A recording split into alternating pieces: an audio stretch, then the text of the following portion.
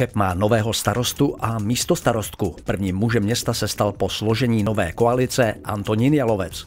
Na pozici prvního místo starosty zůstal Zdeněk Hrkal. Druhou místo starostkou byla zvolena na zastupitelstvu 3. května 2017 Gabriela Licková.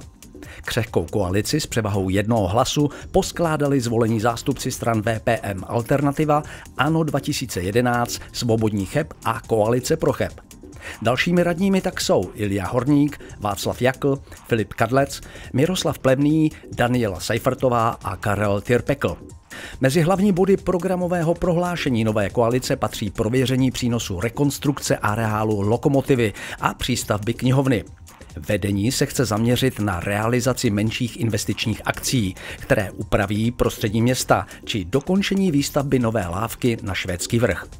Dále chce nové vedení vytěsnit všechny herny z centra města, více zapojit občany do činnosti radnice, věnovat se okrajovým částem města a vypracovat ekonomický rozbor k výstavbě závodu na ekologické zpracování odpadu. Změny ve vedení města vyvolalo odvolání bývalého starosty Petra Navrátila a následný rozpad koalice stran ČSSD, ANO a KSČM.